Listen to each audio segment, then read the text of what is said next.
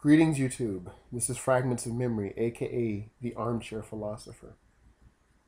I often hear conservative commentators and pundits on radio and television discuss America's Christian heritage. This sentiment is echoed by Christian evangelists and gospel preachers. America was founded on Christian principles is shouted from pulpits made of oak and television pixels. Now, in this video, I asked the question Were our founding fathers all Christians? We do know for a fact that Thomas Paine, who wrote such works as The Rights of Man and Common Sense, he was a deist. He even proclaimed in his in his work Age of Reason that he not only he believed in no church, he believed his mind was his church and that he believed in God and no more and that he hoped that he would have good a good life and a good afterlife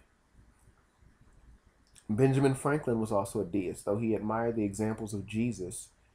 He himself did he himself did not align with any particular denomination. Thomas Jefferson was a Unitarian who did not believe that everything that the Bible said.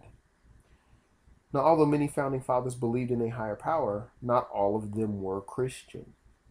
And this is something, as I say earlier, as I have mentioned earlier, is being perpetuated by the right wing of the political spectrum.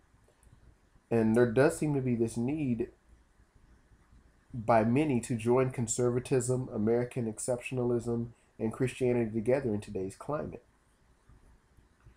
Now, I would, I would, I would like to point out at this point, at this juncture, that Christianity came long before the existence of the United States of America and many of its principles would conflict with what America actually puts into practice today.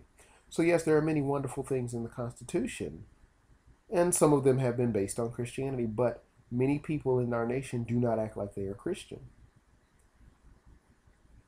And I do get this feeling in America that God has been politicized. He's become a tool for one party to gain leverage over another party.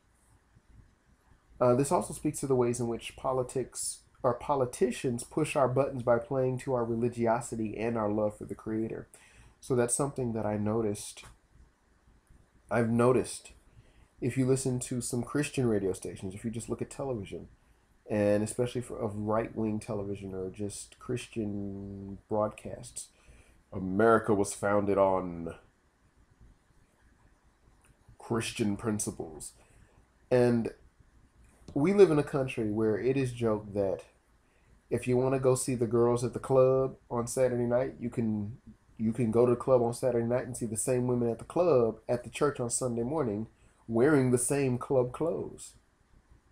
That's something that has been spoken of, though derisively and though in a joking manner. This is something that has been spoken of. Um, you often hear in America, if we're a Christian nation, we do have all these sex scandals that preachers are getting caught up in.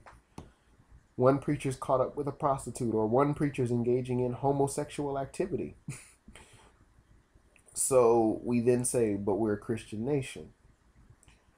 Ministers are also caught in scandals like taking the church's collection plate money and using it to drive a Cadillac while the people that attend the church, the parishioners, the congregation, they're living hand to mouth. They're either living in a bad apartment or they're living where they got to take the bus to church. But yet the pastor, he driving a new Rolls Royce or Cadillac or an Aston Martin. So what's that all about? So we say we're a Christian nation. Um, we, we, we, we create media that gossips and tears down people who don't agree with us. Well, gossip is supposed to be a sin in the Bible. In fact, when you go to many churches in America, what do you find is that the same person that's saying praise the Lord to you is also the same person gossiping about your life. But yet we say we're a Christian nation. We're a nation that devotes only one day to the Creator, and then all the six days are ours. And this isn't me picking on, I'm not attempting to denigrate the Christian faith. I'm merely just pointing out that if you say you have a certain set of ideals, you should do your best to practice those ideals. Yes, many will respond with, we're not perfect people. Of course, we're not perfect. But falling short is one thing, not even trying is a whole nother game altogether. So when I when I hear people say we're a Christian nation, we're Christian, we're Christian, I want to laugh because not not everyone who who's even cl- lays claim on the name Christian can truly be a Christian. The Bible even says that.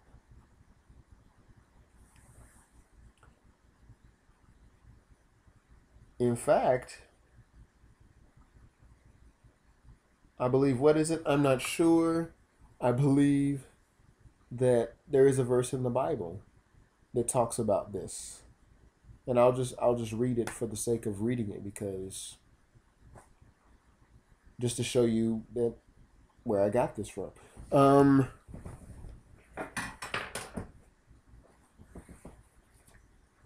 Let's see. In the book of Matthew. Matthew, and of course the words are in red, so you know Jesus must have said it.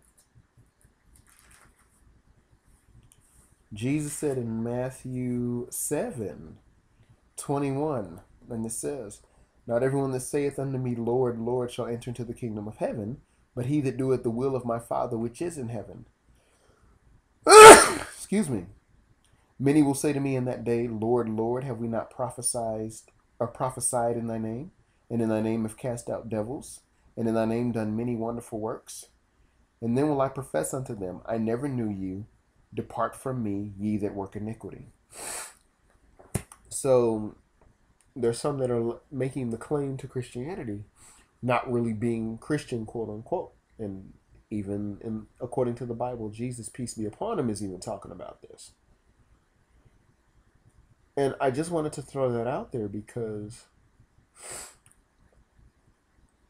there are many people that lay claim to we're a Christian nation, we're a Christian nation, and even if, and some might even use my use this to say, well, not everyone who say they're Christian really is a Christian. True, but what about what about those who are truly truly being about their father's business, quote unquote?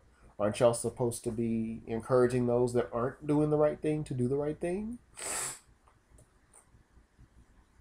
Well, that's just that's just something that was on my mind, and I wanted to just throw that out there because there are way too many folks screaming, "We're a Christian nation. Let's get back to our Christian principles." But let me remind you that this very same nation that wrote "All men are created equal" had slaves while they were saying it. Even when blacks fought in the Revolutionary War, fought in all the wars to help America get their freedoms the blacks were related to regulated to a second class citizenship. So I do find it disingenuous when these conservative Christian right wing folks start talking about that stuff. Well, that's just my two cents on the matter. Thank you very much for tuning in. Take care.